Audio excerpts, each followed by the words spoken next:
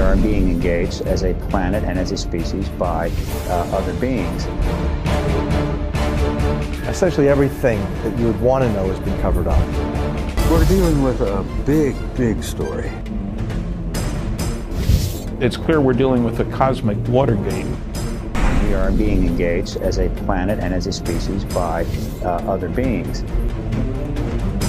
Rumor is that they eventually moved most of the uh, saucers that they had at the S4 facility to someplace called Area 6413 in Utah. But all that data is born classified.